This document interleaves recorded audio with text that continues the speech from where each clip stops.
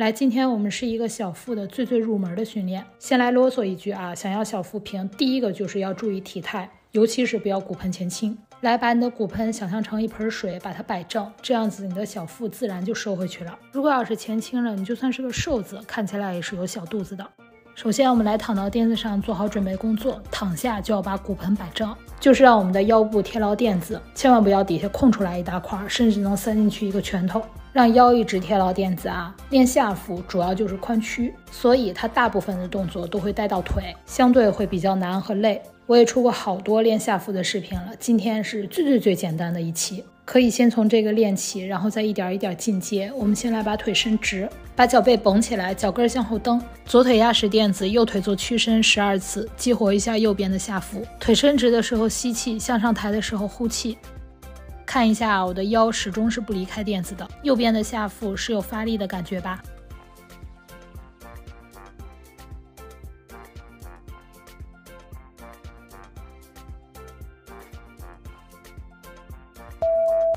然后来右腿压实垫子，左腿做屈伸十二次，抬腿吐气的时候，腹部要向内收。这一套动作产后腹直肌分离都是可以做的，并且对修复腹直肌分离也有好处。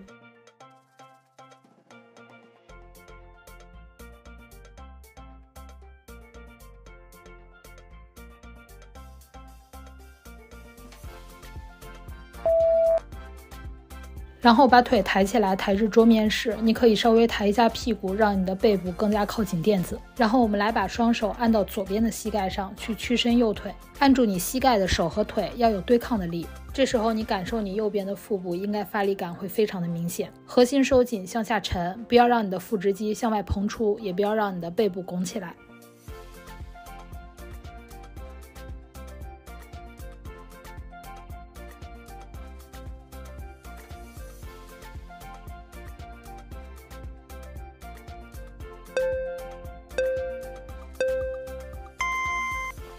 然后来休息两秒钟，换另一条腿。来，先把腿抬至桌面式，背部靠住垫子，两只手去压住右边的膝盖。你只要压住，它就有一股对抗的力，就是你的腿要向你的胸部走，你的手不让。稳定好你的骨盆核心，去伸直你的左腿。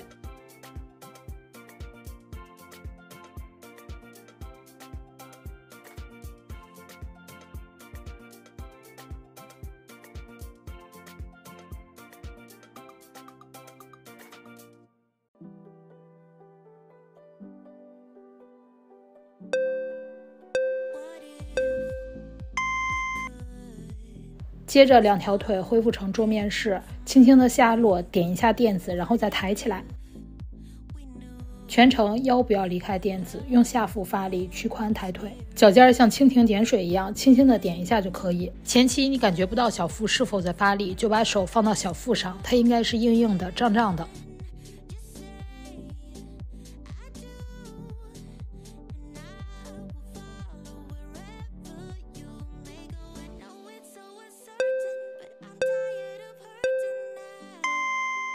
好，你们可以休息五秒钟，我来给你们演示一下这个动作的进阶版，就是反向卷腹。可以跟着我试一下，就是用下腹发力把臀抬起来，脚尖是不挨住垫子的。然后它的更进阶版就是反向举腿，下腹发力把腿举至最高点。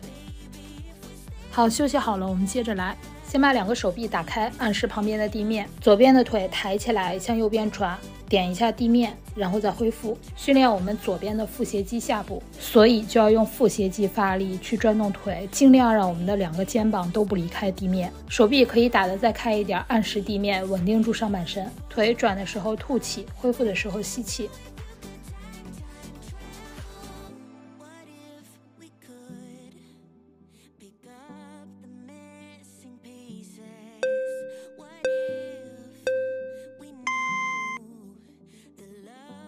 好，稳定住上半身，把右腿抬起来，向左转，点一下地，去扭转你的腹斜肌，尽量让你的两个肩膀都不离开地面。脚尖如果要是点不到地面也没有关系，只要腹斜肌发力就可以。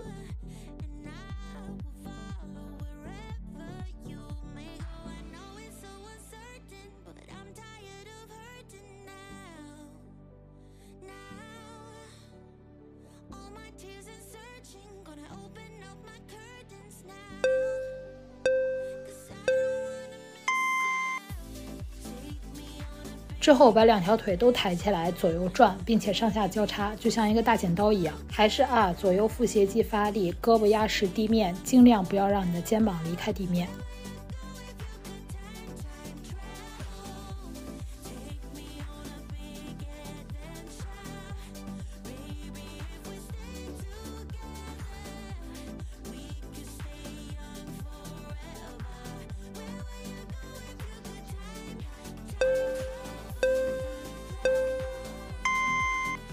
好，你们来休息五秒钟，我来给你们看一下这个动作的进阶版，就是你的腿在底下画圈儿。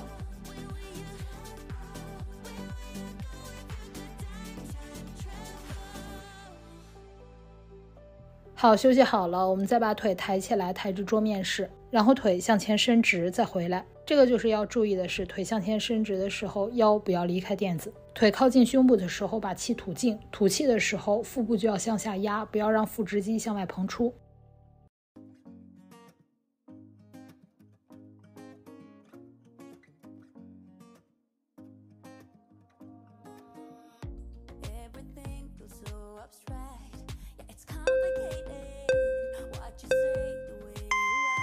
好，腿不要放松，向右转，然后把腿伸直，再恢复，再向左转，把腿伸直，再恢复。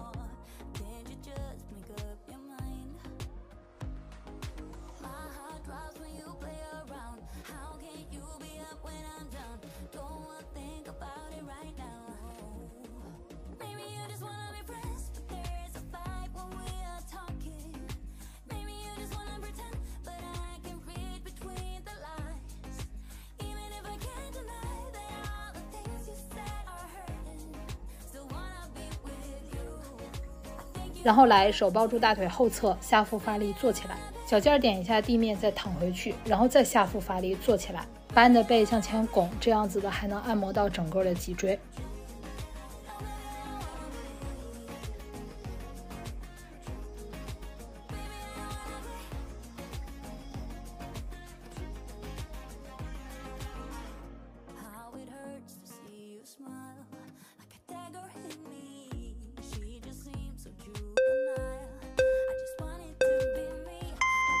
来滚的最后一下，挑战一下，把腿向前伸直，然后我们来 V 字支撑十五秒。